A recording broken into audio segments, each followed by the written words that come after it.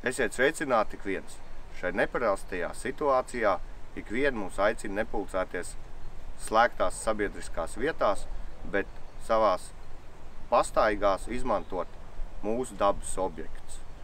Un kā viena no dabas objektiem ir šīs dabas takas, pilskalni, meži, kur mēs varam pavadīt savu brīvo laiku.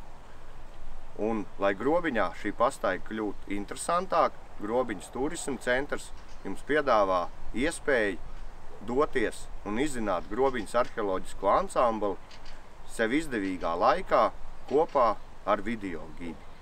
Un to ir iespējams izdarīt šeit. Pie informācijas stendu noskanējiet ar telefonu QR kodu un jūsu telefonā atvērsies video gids.